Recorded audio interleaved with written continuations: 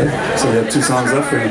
Uh, that's, another one is called Girls on Bikes.